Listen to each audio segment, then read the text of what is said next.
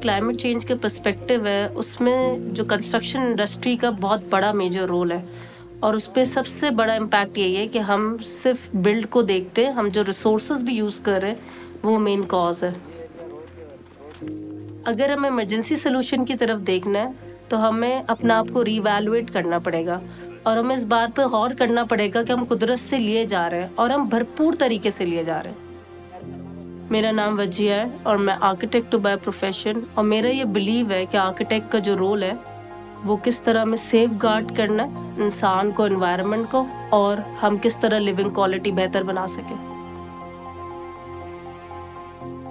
As a teacher मेरे ऊपर बहुत बड़ी ज़िम्मेदारी थी ये समझाना कि सस्टेनेबिलिटी के असल में कोर वैल्यूज़ क्या है।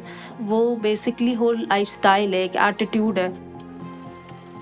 जो ये रीसेंट फ्लड हमारे कंट्री ने फेस करा है, उसकी वजह से हमने ये सोचा कि हम स्टूडेंट के अंदर एम्पथेटिक डिज़ाइन अप्रोच किस तरह लाएँ।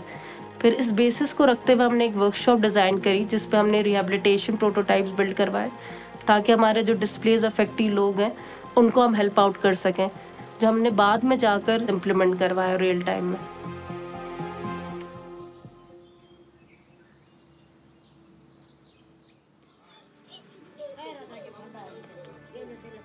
हम लोग अभी सिंध के एक जगह पर है जैकपाबाद में। और इसमें हम लोग जो हैं डिफरेंट गाँव हैं यहाँ का, जिसमें सबसे ज़्यादा जो मुतासरीन लोग हैं, उनको हम पहले टैग कर रहे हैं, फिर उनके लिए हम घर बना रहे हैं। और इस तरह हम हर जगह एक एक घर बनाएँगे, उससे फ़ायदा योगा की एक मिसाल बनती रहेगी हर जगह पर। जो हमने डिटेल बनाई है, वो बहुत सिंपल डिटेल है, ताकि लोग जो है ना, फ़ौरन से अडॉप्ट कर सकें। पहला तो मटेरियल्स हमने एनवायरनमेंट और इकोनॉमिकल सस्टेनेबल की चीज़ सोची। बैम्बो यूज़ कर रहे हैं या मट की वॉल यूज़ कर रहे हैं तो मटेरियल उसका सस्टेनेबल है, जो कि मेन अहम चीज़ है। पहले ही डिज़ाइन में ऐसा करें कि पैसिव एनर्जी पे बेस्ड हो ताकि कम बिजली, दिन के टाइम पे घर रोशन रहे।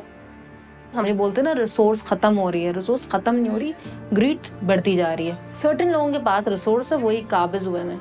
आपके 80 परसेंट लोग कहाँ रह रहे हैं? उनको कितनी ज़मीन मिली है? उनको कितनी आर्किटेक्चर लग्जरी मिली है? तो सबसे पहले तो इक्वालिटी का रोल है।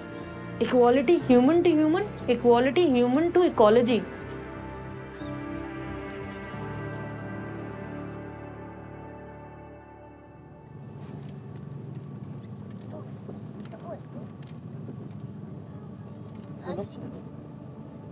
basically हमने स्टूडेंट्स को इसमें पार्टिसिपेट करा रहे हैं साइट पर इंगेज करा रहे हैं। तो इसमें हमारे साथ दो यूनिवर्सिटीज़ के स्टूडेंट इस तरह इन्वॉल्व हैं कराची यूनिवर्सिटी और सर सैद सिंध में जब काम स्टार्ट करा तो हमने उन्हीं स्टूडेंट्स को इन्वॉल्व करा, जिन्होंने हमारे साथ बलूचिस्तान में बिल्ड करा है।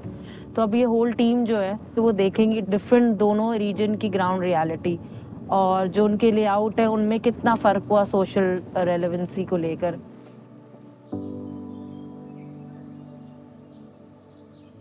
हमारा जो घर है, वो ऑलमोस्ट स्ट्रक्चर पूरा डन हो चुका है फिनिशिंग का फ़ेज़ आ गया है। तो यहाँ पर ये चार पाँच घर के कम्युनिटी के लोग थे, जिनको यहीं से उन्होंने मट का काम देखा और सीखना शुरू करा। इसकी वजह से ना उनके अंदर जिद्दत भी आने लगती रेजिस्टेंस पैदा होती है। कल को अगर कोई नहीं भी होता तो ये खुद से उनको पता है तरीका अपना घर बनाने का।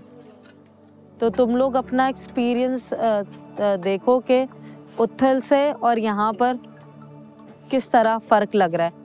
यहाँ पे सबसे अच्छा फ़ायदा ये है कि लेबर कम है कम्युनिटी इंगेजमेंट बहुत है। ये हमने पूरा स्ट्रक्चर अभी एक हफ़्ता पूरा नहीं हुआ है। तो मेरे ख्याल से छः दिन में ये हो गया पूरा। अब कल को कोई भी और घर बनते हैं अब तुम लोग की वजह से एक बात फैलने की वजह से और लोग पार्टिसिपेट करेंगे।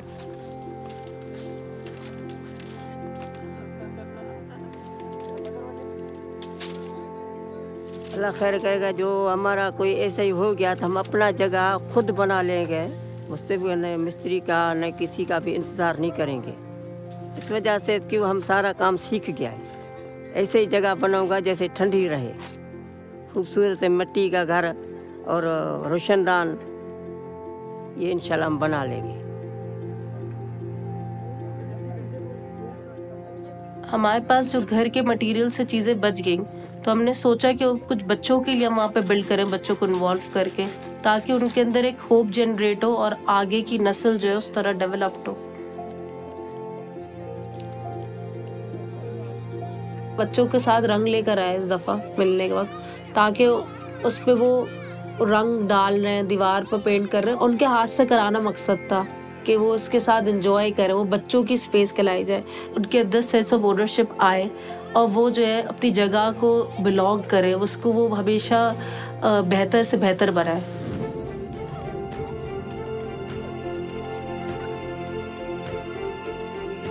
पहले कैसा डर था ना क्या बन रहा है बाँस का? अब समझ में आया कि बाँस का समझ ही नहीं आ रहा था किसी को भी समझ में नहीं आ रहा था कि कैसे बनेगा। अब देखो बाँस जो है ना इसमें उसी तरह यूज़ हुआ है जिस तरह कॉलम में होता है। जी हाँ। एक तो ये माहौल के लिए भी अच्छा अभी खुदा न खास्ता देखो कितने ममालिक में जलजला भी आया। तो सही है।